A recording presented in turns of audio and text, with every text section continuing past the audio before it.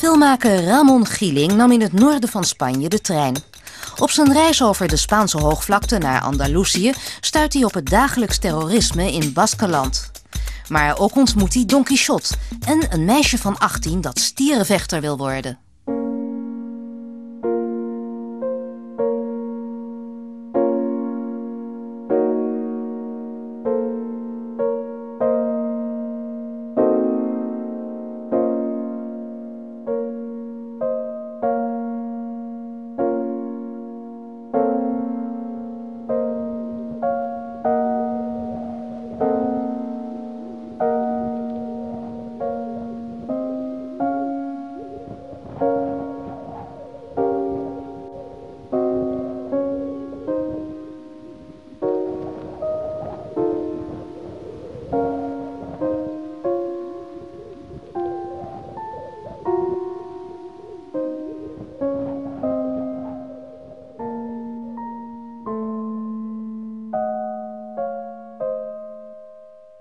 Lang geleden, toen ik nog een kleine jongen was, bracht ik een paar halve jaren door in Spanje.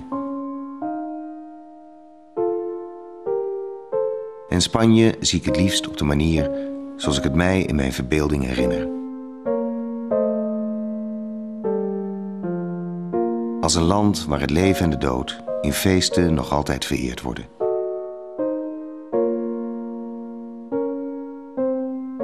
In de meeste landen heeft de dood het laatste woord. Ze komt en de luiken worden gesloten. In Spanje niet. In Spanje worden ze geopend. Het leven met de dood is voor de Spanjaard eerder gewoon dan uitzondering.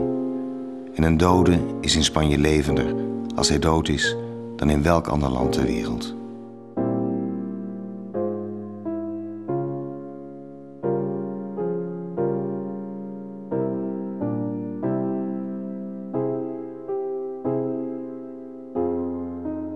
En nu gaan we dat land van noord naar zuid doorkruisen. Van Baskeland naar Andalusië. Van San Sebastián naar het feest van San Antonio. In mijn dorp Frigiliana.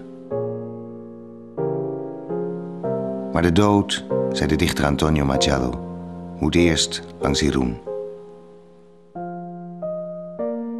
En daar begint onze reis. Een reis die natuurlijk niet helemaal een echte reis is, maar één waarop we fantaseren en improviseren. Dit is het toneel.